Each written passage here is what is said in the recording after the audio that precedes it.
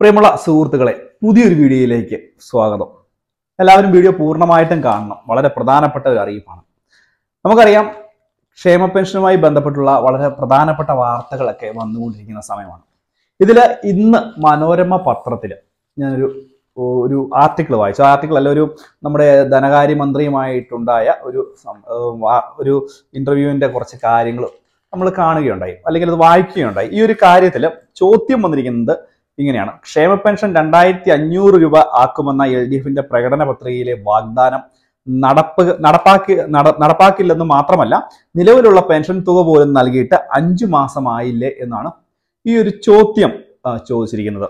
ഇതിന്റെ മറുപടിയായിട്ട് അദ്ദേഹം പറഞ്ഞിരിക്കുന്ന നമ്മുടെ ധനകാര്യമന്ത്രി പറഞ്ഞിരിക്കുന്ന കാര്യം ഞാൻ അതേപടി ഒന്ന് വായിക്കാം. അതിനുശേഷം നമുക്കിത് ചർച്ച ചെയ്യേണ്ട കാര്യമാണ്. ഉമ്മൻചാണ്ടി സർക്കാരിന്റെ കാലത്ത് പതിനെട്ട് മാസം ക്ഷേമ പെൻഷൻ കുടിശ്ശികയായിരുന്നു. അന്ന് അറുന്നൂറ് രൂപ നൽകിയെങ്കിൽ ഇന്ന് ആയിരത്തി അറുന്നൂറ് രൂപ കൊടുക്കുന്നുണ്ട്. പ്രകടന പത്രികയിൽ പറഞ്ഞതുപോലെ രണ്ടായിരത്തി അഞ്ഞൂറ് രൂപയാക്കണമെന്ന് തന്നെയാണ് ആഗ്രഹം. അഞ്ചു മാസത്തെ പെൻഷൻ കൊടുക്കാത്തതിനാൽ ഒരാൾ ആത്മഹത്യ ചെയ്തെന്ന് കഴിഞ്ഞ ദിവസം വാർത്ത വന്നിരുന്നു. പക്ഷേ അദ്ദേഹം പെൻഷൻ ആവശ്യപ്പെട്ടത് നവംബറിലാണ് കത്തെഴുതിയത്. ഒരു മാസത്തെ പെൻഷൻ നൽകാൻ തൊള്ളായിരം കോടി രൂപയാണ് വേണ്ടത്. ക്ഷേമ പെൻഷൻ സർക്കാരിന്റെ നല്ല മനസ്സുകൊണ്ട് കൊടുക്കുന്നതാണ്. കോടതിയിൽ പോയി വാങ്ങേണ്ടതല്ല. ഇത്രയുമാണ് ഈ ഒരു ചോദ്യത്തിന് മറുപടിയായിട്ട് കൊടുത്തിരിക്കുന്നത്. ആ ഒരു കോളം പേപ്പർ കട്ടിംഗ് കോളം നിങ്ങൾക്ക് ഇവിടെ കാണുവാൻ സാധിക്കും. ഞാൻ അതിന്റെ ഒരു കറക്റ്റ് ആയിട്ടുള്ള ആ ഒരു അത്രയും ഭാഗം മാത്രം നിങ്ങൾക്ക് സ്ക്രീനിൽ കാണിച്ചു തരാം. നിങ്ങൾ ഒരു കാര്യം ശ്രദ്ധിക്കണം. ഇപ്പൊ ഈ ഒരു ചോദ്യത്തിന് മറുപടിയായിട്ട് പറഞ്ഞിരിക്കുന്ന ഒന്നാമത്തെ കാര്യം എന്ന് പറയുന്നത് ഉമ്മൻചാണ്ടി സർക്കാരിന്റെ കാലത്ത് പതിനെട്ട് മാസം ക്ഷേമ പെൻഷൻ കുടിശ്ശികയായിരുന്നു എന്നാണ്. ഈ ഒരു കാര്യം പറയാൻ നിങ്ങൾക്ക് നാണമില്ലേ എന്ന് വേണം നമുക്ക് തിരിച്ചു ചോദിക്കാൻ. നിങ്ങൾ അവർ അവർ ചെയ്ത കാര്യങ്ങൾ അല്ലെങ്കിൽ അവർ ചെയ്യാതിരുന്ന കാര്യങ്ങൾ ചെയ്യുവാൻ വേണ്ടിയാണ് നിങ്ങൾ വന്നിരിക്കുന്നത്. ആ കാര്യം പറഞ്ഞുകൊണ്ട് വീണ്ടും പഴയ കാര്യവും പറഞ്ഞുകൊണ്ട് ഞങ്ങൾ ഇപ്പോൾ ആയിരത്തി അറുന്നൂറ് രൂപ കൊടുക്കുന്നുണ്ട്. അത് അഞ്ചു മാസമായി കൊടുക്കാറായിട്ടുള്ളൂ. ആ ഒരു രീതിയിൽ പറയുന്നതിന് നിങ്ങൾക്ക് അല്പമെങ്കിലും നാണം വേണം. പ്രത്യേകിച്ച് ഇതുപോലെ രണ്ടാമതും അധികാരത്തിലേറിയ ഒരു സർക്കാർ ക്ഷേമ പെൻഷനും സൗജന്യ ഭക്ഷ്യക്കിറ്റും കൊണ്ടാണ് വീണ്ടും അധികാരത്തിൽ വന്നിരിക്കുന്നത് എന്നുള്ളൊരു കാര്യം ഒരുവിധം ആളുകൾക്കെല്ലാം തന്നെ മനസ്സിലായ ഒരു കാര്യമാണ്. അപ്പോൾ മറ്റു സർക്കാർ കൊടുക്കാതിരുന്ന കാര്യം ഞങ്ങളും ഇങ്ങനെയാണ് എന്ന് തെളിയിക്കുകയാണ് എന്നുണ്ടെങ്കിൽ അല്ലെങ്കിൽ ഞങ്ങളും ഈ രീതിയിൽ തന്നെ ആയിരിക്കുമെന്നു ആണെങ്കിൽ നിങ്ങളും അവരും തമ്മിൽ യാതൊരു വ്യത്യാസവും ഇല്ല എന്നുള്ളതാണ് അതിലെ ഒരു വസ്തുത കിടക്കുന്നത്.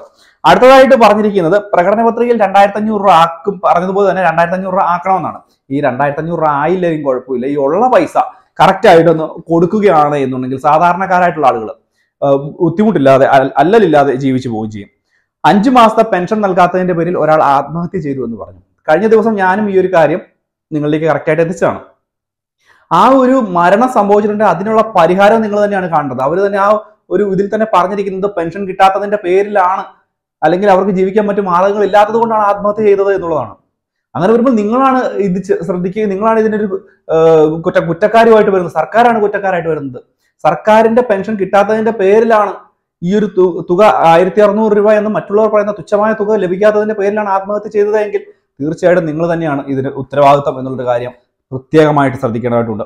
ഇതുകൂടാതെ തന്നെ തൊള്ളായിരം കോടി രൂപയാണ് ഓരോ മാസത്തെ പെൻഷൻ തുകയായിട്ട് വിതരണം ചെയ്യേണ്ടത്. അതറിയാം ഇതിന്റെ പേരിലൊക്കെയാണ് സെസ് ഒക്കെ പിരിക്കുന്നത്. സെസ് ഒരു വർഷം പെട്രോൾ സെസ് ഒക്കെ എഴുന്നൂറ്റി അൻപത് രൂപയെ എഴുന്നൂറ്റി അൻപത് കോടി രൂപയെ ഒരു വർഷം കിട്ടുകയുള്ളൂ. മറ്റുള്ള മാർഗങ്ങളിലൂടെയും സോഴ്സുകളിലൂടെയും ഒക്കെ വരുമാന മാർഗം വർദ്ധിപ്പിക്കേണ്ടത് അതായത് സംസ്ഥാനങ്ങളുടെ കടമയാണ് എന്നുള്ളൊരു കാര്യം കൂടി പ്രത്യേകം ശ്രദ്ധിക്കുക. ഇത് കൂടാതെ തന്നെയാണ് സർക്കാരിന്റെ നല്ല മനസ്സുകൊണ്ടാണ് പെൻഷൻ കൊടുക്കുന്നത് എന്നുള്ളൊരു കാര്യം. സർക്കാരിന്റെ നല്ല മനസ്സുകൊണ്ടല്ല സുഹൃത്തുക്കളെ ഈ ഒരു കാര്യം നിങ്ങൾക്ക് ലഭിക്കേണ്ടത് ഓരോ പൗരന്റെ അവകാശമാണ്. ക്ഷേമ ആനുകൂല്യങ്ങൾ വിതരണം ചെയ്യുക എന്നുള്ളത് സർക്കാരിന്റെ കടമയാണ്. അല്ലാതെ സർക്കാർ ആരുടെയും വീട്ടിൽ നിന്നും പണം എടുത്തുകൊണ്ട് വന്നല്ല ചെയ്യുന്നത്. ഈ രാജ്യത്ത് നികുതി അടയ്ക്കുന്ന സാധാരണക്കാരന്റെ പണത്തിൽ നിന്നാണ് ഈ ഒരു തുക അടച്ചു മറ്റുള്ള ആളുകൾക്ക് ക്ഷേമ പെൻഷനായിട്ട് നൽകുന്നത്. അതിൽ നിങ്ങൾ സർക്കാരിന്റെ നല്ല മനസ്സുകൊണ്ടാണ് എന്നൊന്നും പറയേണ്ട ആവശ്യമില്ല. തുക വർദ്ധിപ്പിക്കേണ്ടത് കാലാകാലങ്ങളായിട്ടുള്ള ആവശ്യങ്ങളാണ്.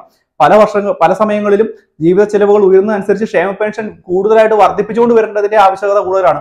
ഇവിടെ സർക്കാർ ജീവനക്കാർക്കുള്ള പെൻഷനും അതുപോലെ മറ്റുള്ള ആളുകൾക്കുള്ള പെൻഷനും വളരെ ഉയർന്ന രീതിയിലാണ്. സാധാരണക്കാരന്റെ പെൻഷനാണ് ഇപ്പോഴും ആയിരത്തി അറുന്നൂറ് രൂപയിൽ നിൽക്കുന്നത് എന്നുള്ളൊരു കാര്യം പ്രത്യേകമായിട്ട് നമ്മുടെ സംസ്ഥാന ധനകാര്യമന്ത്രി തന്നെ ശ്രദ്ധിക്കേണ്ട ഒരു കാര്യമാണ്. മാത്രമല്ല ഈ ഒരു ആനുകൂല്യം കോടതിയിൽ പോയി അല്ല വാങ്ങേണ്ടത് എന്ന് പറയുമ്പോൾ നിങ്ങൾ കൊടുക്കാത്തത് കൊണ്ടാണ് കോടതിയിൽ പോയിരിക്കുന്നത് എന്നുള്ള ഒരു കാര്യം. അല്ല നിങ്ങൾ കൊടുക്കാത്തത് കൊണ്ടല്ലേ കോടതിയിലേക്ക് പോകേണ്ടി വന്നത് എന്നുള്ള ഒരു മറുചോദ്യം കൂടി അവിടെ നിൽക്കുകയാണ്. കറക്റ്റായിട്ട് കൊടുക്കേണ്ട കാര്യങ്ങൾ എന്ത് സാമ്പത്തിക ബുദ്ധിമുട്ടുണ്ടെന്ന് പറഞ്ഞാൽ പോലും സാധാരണക്കാരന്റെ പെൻഷൻ തുക രണ്ടാമതും അധികാരത്തിലേറിയ ഒരു സർക്കാർ വിതരണം ചെയ്യുക എന്നുള്ളത് നിങ്ങളുടെ ധാർമ്മികമായിട്ടുള്ള ഒരു കടമയാണ്. അതുകൊണ്ട് ഇതുപോലുള്ള മറുപടികൾ യാതൊരു കാരണവശാലും അതിങ്ങനെ സർക്കാരിന്റെ ഒരു ഔദാര്യമായിട്ട് സാധാരണക്കാരന് കൊടുക്കരുത് എന്നുള്ളൊരു കാര്യം കൂടി പ്രത്യേകം ഓർപ്പിക്കുന്നു